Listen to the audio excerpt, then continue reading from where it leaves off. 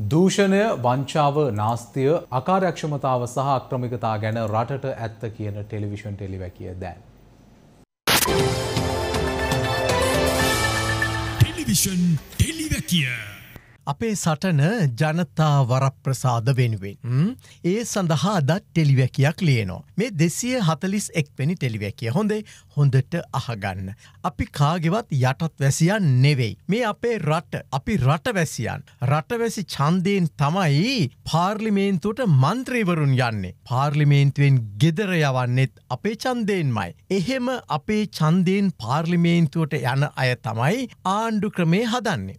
ඒ කියන්නේ රට රට කරවන විදිහ ඇතුළත් ලේකනය නේද ඒකට තමයි ආණ්ඩුක්‍රම ව්‍යවස්ථාව කියලා කියන්නේ. අද මේ ක්‍රියාත්මක වෙන්නේ එහෙම මේ රටේ ජනතාව වෙනුවෙන් හදපු ව්‍යවස්ථාවක් නම් නෙවෙයි මේක ජයාර්ගේ ව්‍යවස්ථාව. හරිද අද ඒක ඔප්පු කරලා පෙන්න්නම් හොඳට සිහිබුද්ධියෙන් අහගන්න. ආණ්ඩුක්‍රම ව්‍යවස්ථාවක් හදන්නේ ජනතාව වෙනුවෙන් ජනතාවගේ අනාගතය වෙනුවෙන් ජනතාවගේ සුභසිද්ධිය වෙනුවෙන් මේ ආණ්ඩුක්‍රම ව්‍යවස්ථාවත් බැලූ බැල්මට එහෙම වගන්ති ගොන්නයි. හරිද ඔන්න බලන්නක එහෙනම් අහගන්න කොනේද මේ ආණ්ඩුක්‍රම ව්‍යවස්ථාවේ හයවෙනි පරිච්චේදය. එහි හෙඩිම හෙඩ්ලයින් එක තියෙන්නේ මෙන්න මෙහෙමයි. රාජ්‍ය ප්‍රතිපත්ති මෙහෙවීමේ මූල ධර්ම සහ මූලික යුතුකම් කියලා. කොමද තියෙන්නේ රාජ්‍ය ප්‍රතිපත්ති මෙහෙවීමේ මූල ධර්ම සහ මූලික යුතුකම් කියලා. හොඳේ දැන් එක ආරම්භේදිම ඒ ඇනි විසිහත එක මෙන්න මෙහෙම තියෙනවා. මෙහි ඇතුළත් රාජ්‍ය ප්‍රතිපත්ති මෙහෙවීමේ මූලධර්ම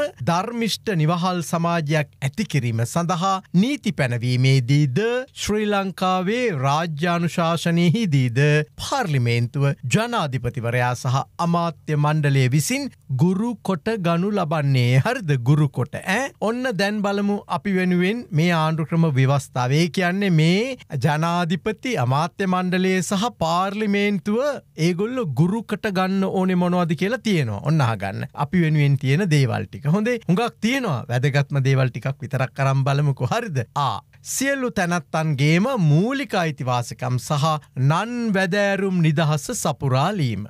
ඒකෙම ඇ. ප්‍රමාණවත් ආහාරපාන ඇඳුම් පැළඳුම් සහ නිවාස පහසුවද. ජීවන තත්වෙහි නිරන්තර වර්ධනයද.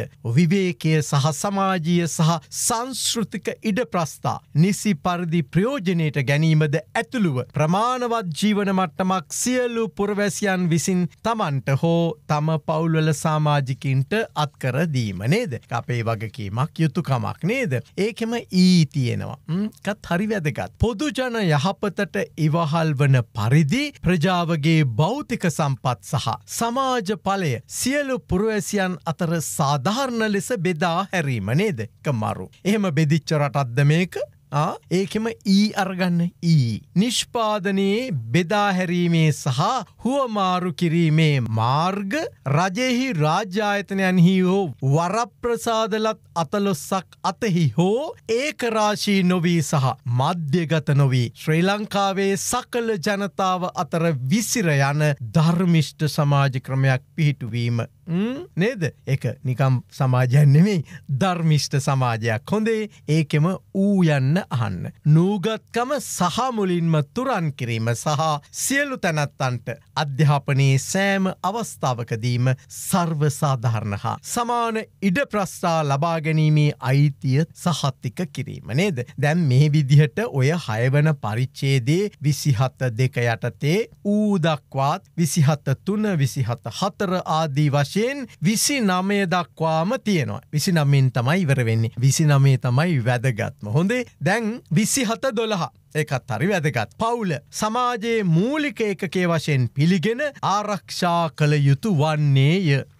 දෙයිළඟට දාහතර. ජනතාවගේ යහපත තකා රජය විසින් පරිසරය ආරක්ෂා කොට සුරක්ෂිත කොට වැඩි දියුණු කළ යුත්තේය. ගස් කපන්න එම බෑහොඳේ දැන් ඔය ලොකු ලොකු වචන පැත්තක තියලා මේක සරලවර්ගමුක මෙන්න මෙහෙම හොඳේ ආහාර ඇඳුම් පැළඳුම් අධ්‍යාපනය ආරක්ෂාව නිදහස විවේකය මේ සියල්ල රටවැසියන්ට සමානව ලැබෙන්ට ඕනේ. මේ රට හෙමද පාසැල් අධ්‍යාපනය අරම්බලන්ට අදත් ගමේ දුප්පත් දරුවට ලැබෙන පහසුකම්ද මේ නගරේ ලොකු පාසැල්වල ඉන්න දරුවන්ට ලැබෙන්නේ එක සමානහිද නේද ගමේ පාසැලේ අදත්න් සාමාන්‍ය පෙළට උසස් පෙළට ඉංග්‍රීසි ගුරුවරු කොච්චර හිඟයිද. වැසිකිලි කැසිකිලි පහසුකම් නැති දරුව කීදහක් ඉන්න රටක්ද මේක. ආ රටේ පවුල් තුන්වේලතිය එක වේලක්වත් කන්නේ මොනතරං අමාරුවෙන්ද. අර එක තැනක තිබ්බ මතකද පවුල සමාජයේ මූලික ඒක කෙලෙස රජයේ පිළිගන්නා අතර ආරක්ෂා කළ යුතු බව සඳහන් වෙනවා කියලා තිබ්බනේ දෙහෙම ආං දැන් අපි දන්නවා අම්මල තාත්තලා අද පවුල් පිටින් එක්කෝ රට දාලයනවා නැත්තන් සමහරවිට සීදි විනාසා ගන්නවා. ඔය අලුතෙම්මාපු වාර්තාවේ තිබුණා ලංකාවේ අදවන විට සෑම පැය හතරකට හෝ පහකට වරක් එක් අයෙක් සීදි විනාසා ගන්න රටක් බවට මේ රට පත්වෙලා තියෙනවා කියලා. පහුගේ අවුරුද්ධ විතරක් මැරෙන්න්න උත්සාහ කළ ගාන අනූදහ පැන්ල කියලා එවාර්තාව තියෙනවා. දැන් එහෙමද මේ පවුල රැකල තියෙන්නේ ජනරජයේ ජනරජයේ අසමත් කියන එක පැහැදිලිනේ නේද. දැන් අපට මේ රජයේ අසමත්කමට එරෙහිව නීතිය ක්‍රියාත්මක කරගන්ට බැරිද. ආණ්ඩු ක්‍රම ව්‍යවස්ථාවම මේ තරම් දේවල් දෙයි හාමුදුරුවනී අපිට දීල තියෙනවා නං අපිට බැරිද නීතිය ක්‍රියාත්මක කරවන්න. අපිට බැරිද මේ පිළිබඳව අධිකරණයට යන්න. අපිට බැරිද මේ පිළිබඳව අයිතිවාසකම් වෙනුවෙන් අධිකරණ දුත්තරයක් ඉල්ලන්න. ඒක විසි නමේ හරි අපූරුවට කියලා තියෙනවා. මේ ඔක්කෝමටික ලියාගෙන ලියාගෙන ගිහිල්ලා විසි නමේ අන්තිම වගන්තිය හරිද ඔය ආණ්ඩු ක්‍රම ව්‍යවස්ථාව හොඳේ රාජ්‍ය ප්‍රතිපත්ති පිළිබඳ මූලධර්ම සහ මූලික යුතුකම් විනිශ්ෂයට භාජනය කළ නොහැකි බව. මේ පරිච්චේදේ විධවිධාන හේතුකටගෙන නීතියෙන් කිසිම අයිතිවාසිකමක් නොපැවරෙන්නේය. නීතියෙන් කිසිම බැඳීමක් ඇති නොවන්නේය. තවද මේ පරිච්චේදේ විධවිධාන අධිකරණයේ හෝ විනිශ්්‍ය අධිකාරයක් මගින් ක්‍රියාත්මක කරවා ගත නොහැක්කේය. එම විධවිධානවලට අනුකූලවීම පිළිබඳ කිසිම ප්‍රශ්නයක් කවර වූ හෝ අධිකරණයකට හෝ විනිශ්්‍ය අධිකාරයකට ඉදිරිපත් කළ නොහැක්කේය. දැම් පැහැදිලී නේද. මාර අයිතිවාසිකම් තොගයක් දීලා තියෙනවා. ඒවා අපිට ලැබෙන් නැත්තං ක්‍රියාත්මක වෙන්න නැත්තං ඒ සඳහා සාධාරණය ඉල්ලන්න අධිකරණයට යන්න බෑ කියලා අරටික ඔක්කෝම කියාගෙන කියාගෙන ගිහිල්ල විසිනමයෙන් කියනවා කොහෙවත් යන්ට බෑ මේකෙ තියෙනවා හොඳේ කියලා මාර රටක් මාර ආණ්ඩු ක්‍රම ව්‍යවස්ථාවක්. ජනතාවට ලැබිය යුතු දේවල් වෙනුවෙන් මේ දේශපාලන බල අධිකාරයට එරෙහිව නීතියේ පිහිට පතන්න ඉඩ තියල නෑ. එක තමයි ජයාර්ගෙ හපංකම්. ඒකයි අපි මේ නිතරම ලියන්නේ නිතරම කියන්නේ. මේ ඇත්තේ ජනතාවාදී ආණ්ඩු ක්‍රම ව්‍යවස්ථාවක් නෙවෙයි. මේක ජයාර් කියන තනි පුද්ගලයාගේ කැමැත්තට හදපු වස නැමැති අයිසින් තැවරු විෂකේ ගෙඩියක්. මේ විෂකේ ගෙඩිය දැන් විසි එක් වතාවක් කෑලි කපකප ඉවත් කරමින් ඉඳල්ලා වැඩක් නෑ.